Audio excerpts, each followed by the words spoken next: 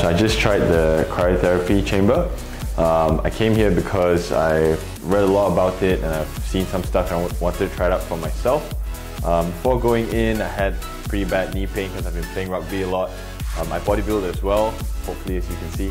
Um, and I wanted to try it out for the fat loss aspect. So um, a little bit nervous going in because it's minus 83 degrees. I'm not a big fan of the cold, but I wanted to give it a shot. Um, when you step in, it's really cold at the start, like the first two seconds, uh, a little bit shocking. But then after that, you get used to it. Um, it's actually quite calming inside. It's a nice color, you know, the temperature's nice and cold, it's very quiet. You have the music on. Um, then you notice your, your eyebrows and your eyelashes start to freeze. That's pretty cool. Uh, but you don't actually feel very cold after that. Um, I was in there for five and a half minutes.